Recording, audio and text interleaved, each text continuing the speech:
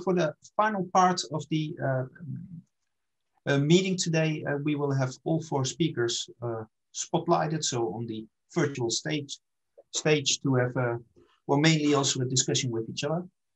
Um, so welcome back also to Gavin, Dimitris, and uh, I think Nelly will be spotlighted as well. Um, yeah, so I'm, I'm, I'm curious to hear, um, especially for those of you who were here also during the talks of the others, uh, your thoughts about the uh, the other presentations you've seen and whether you think that, that you learned something there that you can also uh, incorporate in your own uh, models. So anyone wants to go first?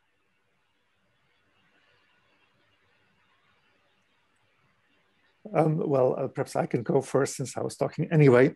but uh, I think one element that uh, I could take from uh, the first two presentations is the spatial elements. Uh, like you might realize that we haven't included that. And well, to some extent, uh, we can justify it by saying the Netherlands is a pretty small country. Um, I think if we were modeling the United States, we wouldn't do that. Um, but uh, I, I, think um, the first two presentations showed very nicely how you can take the spatial component into account and what challenges there are with that. And that's something that I think is very important and sometimes kind of over, overlooked. So that's something that uh, I really enjoyed uh, listening to the presentations. Yeah, and, and, and that's, sorry, can you hear me?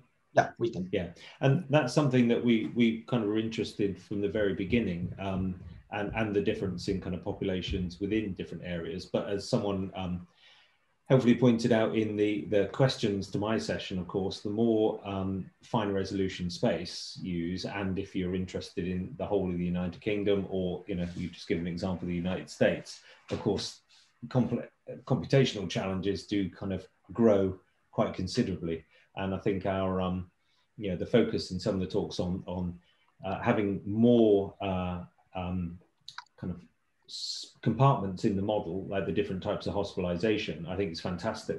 But then I began to think about well, we could kind of try to incorporate that type of thing as well. But then computationally, again, I think it would get uh, quite complex. But again, I think there are two ways of dealing with computational problems. One is go buy a bigger computer, um, which is the you know the easy and yet unsustainable uh, approach, and the other is um, to start thinking you know more more carefully about the computational kind of aspects and whether we can just be a bit more efficient.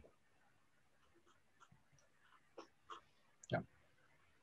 Um, thanks. Um, Dimitris, uh, do you have um, something to add to this or? No, I, I was not present in the other ah, people's uh, presentation, so I cannot uh, comment on that. No. Okay. Um, and I think Nelly, you you were uh, so. Let me. You're still muted, but I think. Yes, thank you. Yeah.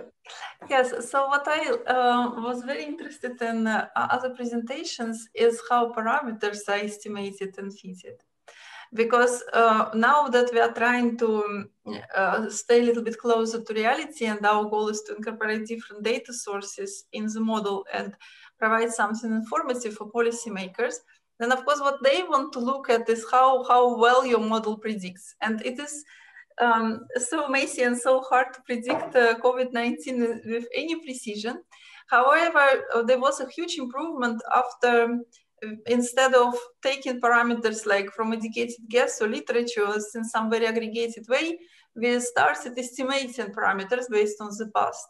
And I saw it back in the presentations of um, Dimitris and uh, and that was and that was for me very interesting because um, I believe there is something in it. Um, and what I also would be very interested in, and that might be related also to Gavin's presentation, uh, is how to combine all different data sources together. Because every data source gives you specific information that has specific place in the model. But um, some what we encounter now that some data sources are very hard to incorporate uh, into the model in a reasonable way So this is also something that we are thinking about right now, and it was very interesting to see what other people are doing in that direction. Yes, um, I think so. Um, yeah, I think it's almost time to uh, finish off, unless someone uh, out of you four wants to. Oh. Yeah, uh, might, yeah, I think I think that's a really good point. point, and we, we get asked all the time, how do you calibrate your model? And, and the example I gave was back in the dark days of last year, at the beginning, you know, there was very limited data, but now we have historical data. Um, you know, strictly speaking, again, it might be a computational challenge. We could do some proper kind of calibration of the parameters in the model because we take them from literature and, you know, like you said, independently build these things together. But I think there is scope now to kind of do things in a much more kind of formal and coherent way. Um, we haven't done it because uh, we're still struggling with other things, but I, I, think it's certainly something we'll need to do because, as you said, policymakers, the first question is how well did your model fit what happened last year, um, and we're not quite there yet. Yeah, go ahead, uh, Nelly. I, I keep keeping this online politeness that I have educated myself to mute myself anytime I don't speak, yeah. and now I have to unmute me every time. But I want to ask one idealistic, futuristic question to, to others actually there is so much effort going on concerning modeling and prediction of COVID-19. Like today, we saw like four different versions of this, right? So um, is it really necessarily a good thing? So when I observed all these talks, I thought, okay, one thing to justify is that every every model has its own purpose. For example, I saw a model that predicts economic impact, and that's something else. than, for example, our goal is to see how mobility plays a role. So that could justify different models. But at the end of the day, do you believe in something like good and sound machinery that, well, in some way we all try to contribute to, that will be just suitable for, for this epidemic uh, because it is probably not the last outbreak?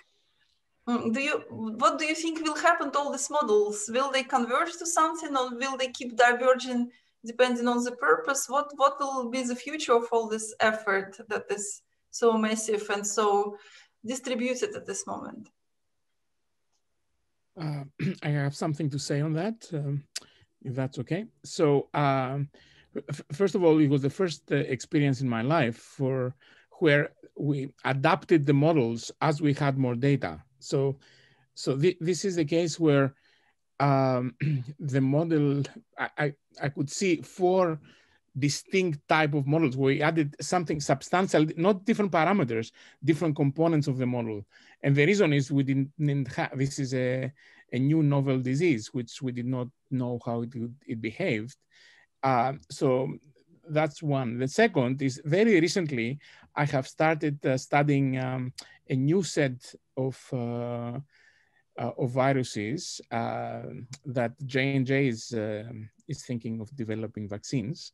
And the knowledge we have acquired because of that, very different, very different. It's not an epidemic, it's just uh, developing vaccines uh, and finding places for them. But uh, the knowledge that we had because of the effort on COVID-19 not the models per se, but the way we did it has been beneficial. So instead of taking us uh, months to develop, it took us days to develop because we adapted our, our understanding of the previous. Uh, so I, I definitely believe that earlier knowledge would help us in the same way that at least the models we have developed were very much influenced by some work we have done in Ebola in the past. So, um, so I, I, I honestly believe that all of our this is a collective statement that um, our joint understanding of how to model things uh, would influences would influence us positively in the future, as it has been the case of the, as I mentioned, with the Ebola virus and the RVS virus as well. Yeah, thanks. Um, it's really very interesting. Um, I'm not if one of the other four uh, others still wants to say uh, add something, uh, please go ahead. And I'm looking at screen.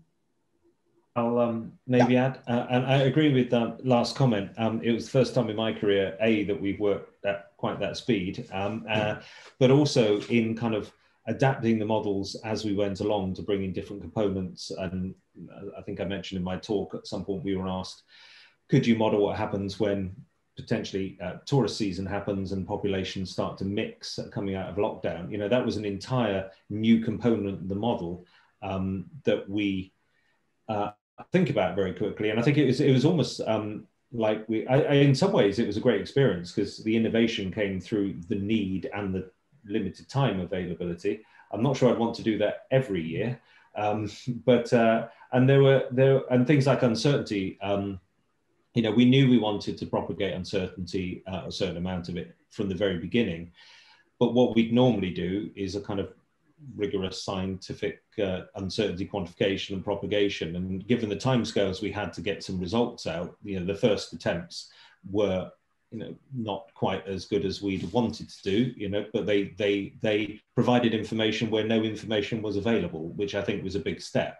Uh, and it was almost like we are the bit we did after those initial runs was almost kind of backfilling the bits that we'd wanted to do anyway. Um, and and what we did find, I don't know if the other speakers found this, is there were lots of requests for a model that did everything for everybody. Um, and it was sometimes quite difficult to kind of rein that into things that were both practical and actually kind of scientifically valid as well, without really just sticking a straight line through things.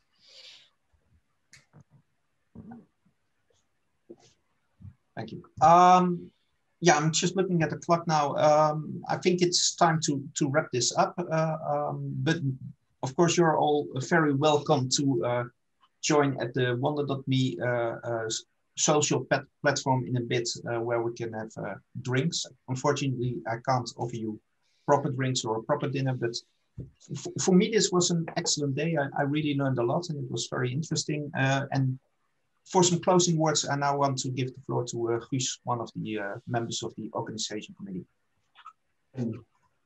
Thank you very much. I share my screen. Firstly, Casper, uh, very sh short. I I will thank. I want to thank you personally for uh, being the host uh, today, uh, this afternoon. Um, thanks, thanks, thanks to you, everything went very smoothly. Secondly, without the speakers uh, and, and, the award winners and the juries, uh, yeah, the, the the the afternoon wouldn't have been as as, as interesting as it has. And uh, I want to thank uh, Romy, uh, Romy Alexandra and, uh, and Jan Kek for, for doing the technical moderation uh, this afternoon. I also want to thank the, the board for making this meeting possible and, and uh, having well, trust us to, for organizing this meeting.